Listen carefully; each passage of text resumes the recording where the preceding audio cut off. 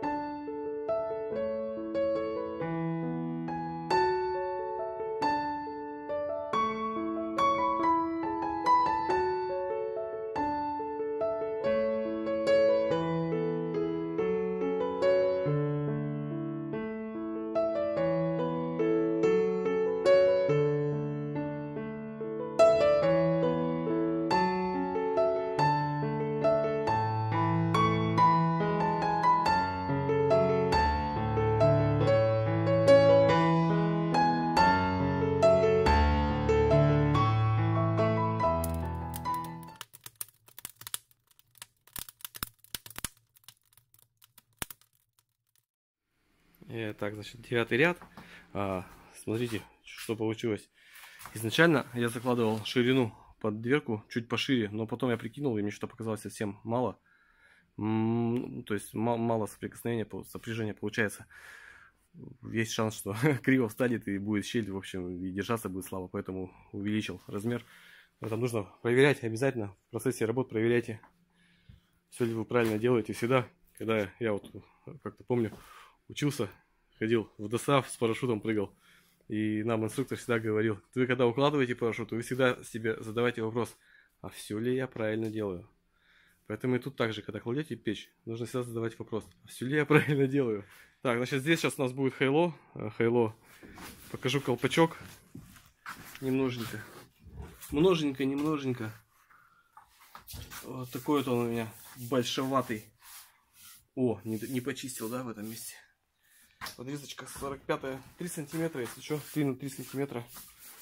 Уж как разметку проводить, сами догадаетесь. Производить. Э, Решили, значит, э, раньше, какая техника была? Я тряпкой сухой тер, как расшивал. Сейчас решил от этой техники уйти. Много пыли. Э, В общем, стал мыть печки. Никогда раньше не мыл. Сколько лет? С четвертого года. 15 год начал кладу, и вот только в этом году начал мыть кладку. Раньше никогда не мыл. Все время все, все время насухо тер. Дышал пылью, пыли очень много, когда насухо. И очень тяжело, очень трудозатратно. Прям вот. У меня вот такой есть материал. Хорошенький такой. Режу его по 12 сантиметров и вот так вот прикладываю. Вниз кладу полтора слоя. Ну, это обусловлено тем, то, что дверка там такого специфического, специфического размера. Все вот так вот делаем. Раз. Здесь все готово у нас к опусканию дверки. А там, значит, у меня хайло начало формироваться. Этот размер. У меня получился 15,5. 155 миллиметров. 155. Так, ну что, начинаем опускать дверку. Тебе задача держать утеплитель, чтобы вниз не, не, не сбежал. Есть?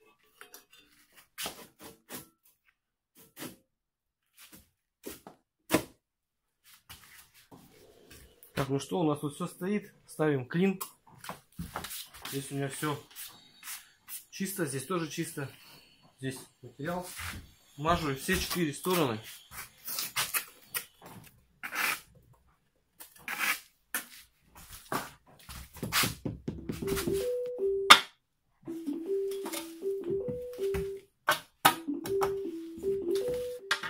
Ряд я сделал. А Дальше я буду делать шутировку. Сейчас здесь все почищу. Положу азальтовый картон э, 5 миллиметров толщиной. И начну футировать. Э, И я над дверкой положу плиту ШБ-94 и опущу ее чуть ниже. э, На, на сантиметр, на полтора. Так, значит, э, хайло я перекрыл огнеупорным кирпичом, потому что температура здесь очень горячая будет. Газ очень горячий будет, и красный кирпич здесь просто не выдержит. Э, В таких ключевых моментах я всегда использую шамотный кирпич. Кто-то говорит перевязывать, э, не рекомендуют э, шамотный кирпич и красный кирпич. Все это ерунда. Есть у меня видео на ютубе, на канале, э, где в банных печах я прямо в топливнике вот этих местах, где дверка использую перевязку и ничего этого не случается. Можно перевязывать, перевязывайте на здоровье. Итак, делаем, значит, четвертый ряд футировки. За дверку э, я дополнительно ставлю кусок плиты 94 цельную, брусочек такой, вырезаю Основная задача, чтобы вот эта наша плита шамотная опустилась чуть ниже края дверки, чтобы тем самым прикрыла вот этот край кирпич, ну, то есть кирпич красный. От локального перегрева защитить задача.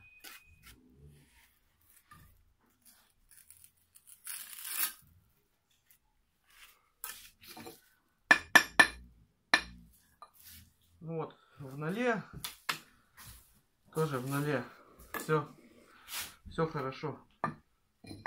Закончил 13 ряд, и четвертый ряд у меня получился в футировке. Э, Здесь мы видим плиту, э, между плитой и э, футировочным кирпичом, вот этим шамотным, делается сплошной шов и заполняется калиновой ватой. Это нужно для того, чтобы когда вот эта вот верхняя часть футировки нагрелась, не, не давила на плиту, потому что ну, я даже, вот у меня было в банной печи, обратил внимание, что вот они лопаются. То есть у меня есть предположение такое, что вот э, нагревается футировка, начинает давить на плиту с двух сторон. В общем, и она посередине может лопнуть. Поэтому вот это место обязательно нужно делать через калинку, либо через базальт. А, Значит, сейчас я буду укладывать плиту. Плиту я э, взял 710 на 410, обычную болезиновскую. Обрезал ее, сплошную, без конфорок, обрезал ее под этот размер. Сейчас положу калинку и на футировку ее уже прям так и положу плиту. Э, Сделаю еще один ряд и буду закрывать колпак. Итак, друзья, покажу, как я уплотняю под плиту.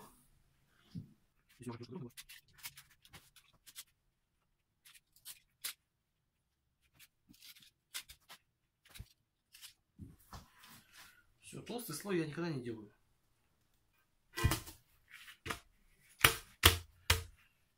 Все, равномерные зазорчики. Положено, даже и, и не корректируется. Очень плотно все легло, все хорошо.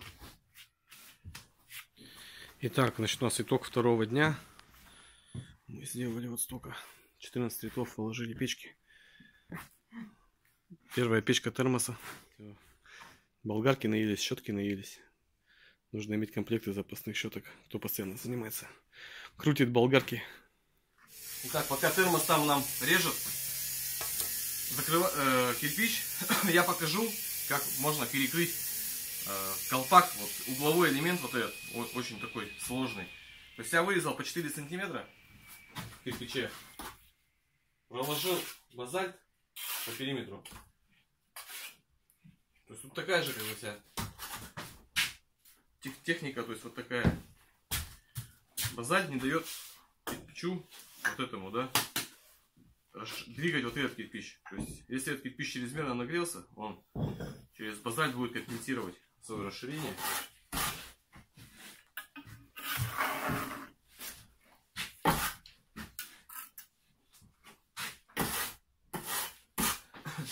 Так, теперь вот этот.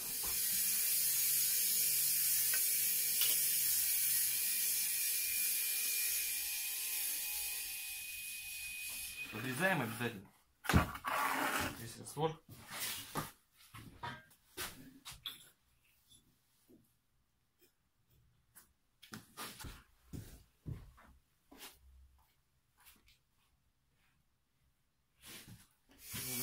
Вырезали, подготовили. Кто догадался, для чего я делаю? Труба у нас будет там. Так, собственно, колпак я закрыл. Подъемный канал чистенький. Колпак закрытый. Я извиняюсь, что все трясется, но тут если стабилизацию включать, то просто все крупно будет. Так что ну, смотрите, как есть. Так, и этот колпак.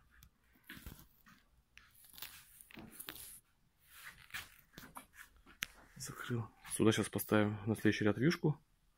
Это у нас будет как бы летний ход. Итак, э, 16 ряд.